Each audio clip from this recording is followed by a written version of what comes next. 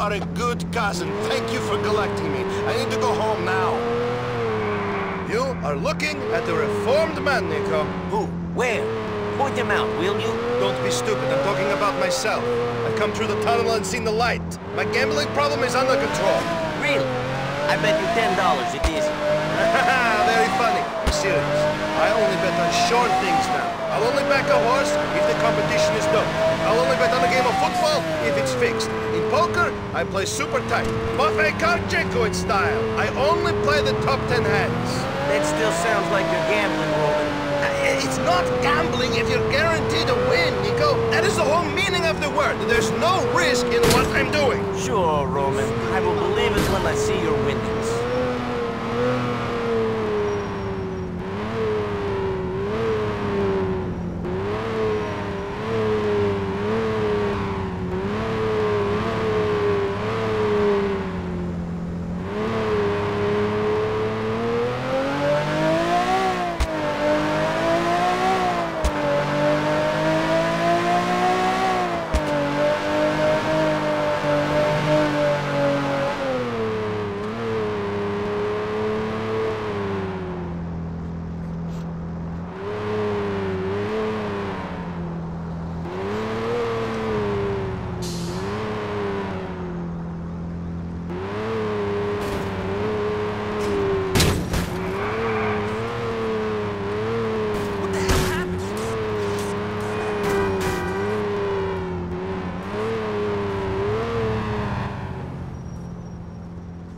Thanks for the ride, Niko.